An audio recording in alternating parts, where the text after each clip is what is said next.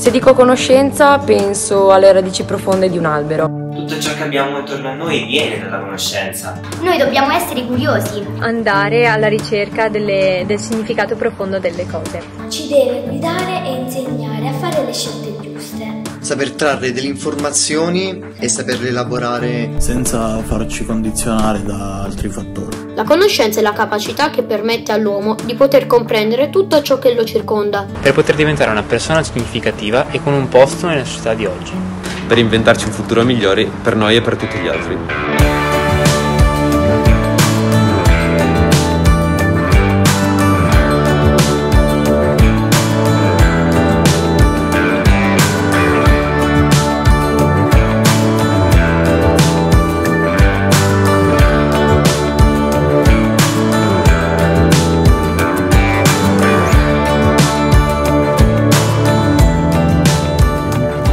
Che abbiamo realizzato ritrae come elemento figurativo centrale Atena, dea della sapienza, con lo sguardo coperto da un velo di pixel.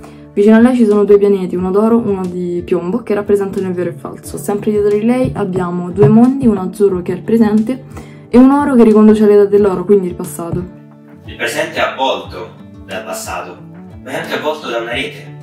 La rete che non rende superflua la conoscenza, ma si trova fra noi e la conoscenza Insieme abbiamo riflettuto sui problemi più urgenti del mondo e come la conoscenza possa aiutare noi ragazzi a risolverli o almeno migliorarli.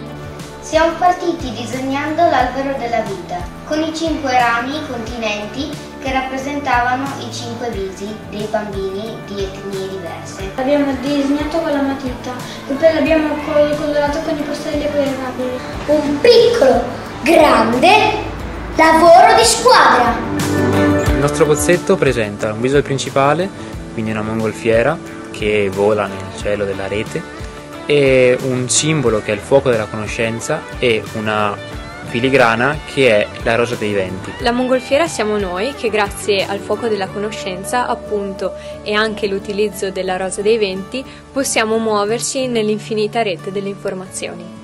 Allora, il bozzetto ha due elementi principali. Il primo è un circuito informatico che rappresenta la società dell'informazione e la circolazione delle idee. E il secondo è un busto raffigurante un corpo umano che rappresenta il pensiero critico. Diamo vita alla conoscenza che sappiamo oggi. È un valore che permette a ognuno di noi di acquisire competenze che influenzeranno le nostre scelte e i nostri comportamenti. Ci ha dato anche la possibilità di imparare un nuovo linguaggio, il linguaggio della matematica finanziaria, e ci ha fatto riflettere sul valore della conoscenza, conoscere e valorizzarsi. Ulisse è il protagonista della nostra banconota e l'abbiamo scelto perché personifica più di tutti il desiderio di conoscenza.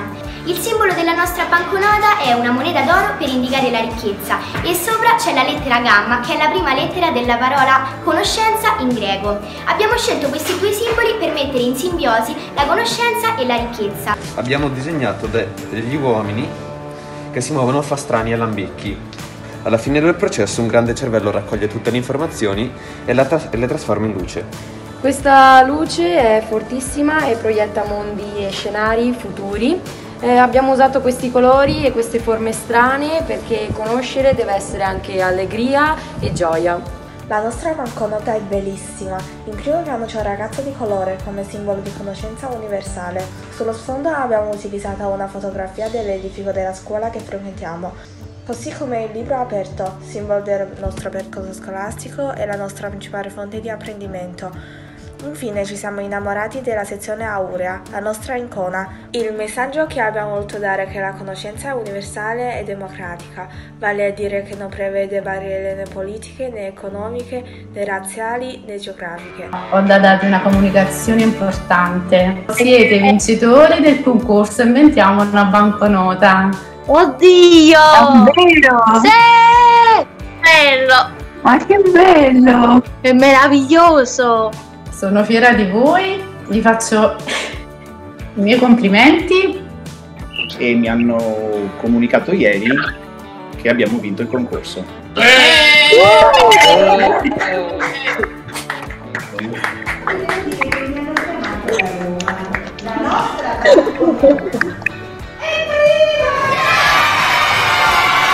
Quello che più mi manca della scuola prima del coronavirus sono sicuramente i compagni di classe. Giochi che potevamo stare vicini e senza la mascherina. Scambiarci un 5, scambiarci una penna. La nostra presenza in carne ed ossa il suono della campanella, i compagni e i professori. E lavorare insieme, guardandoci in faccia, ridendo e facendo battute. E la possibilità di confrontarsi con gli insegnanti. La scuola è diventata una seconda casa, cioè una vera e propria seconda famiglia. Mi manca ridere, scherzare, alcune volte anche piangere. E sentirsi liberi di andare a scuola e di imparare tutti i giorni. La scuola a distanza non mi piace per niente. Si può seguire una bella lezione ma non trovare grandi idee. Quindi spero che questa didattica a distanza finisca il prima possibile. Covid sì, ci ha separato fisicamente e questo mi dispiace. Spero che prima o poi usciremo da questa situazione e che torneremo ad abbracciarci ancora più forti di prima.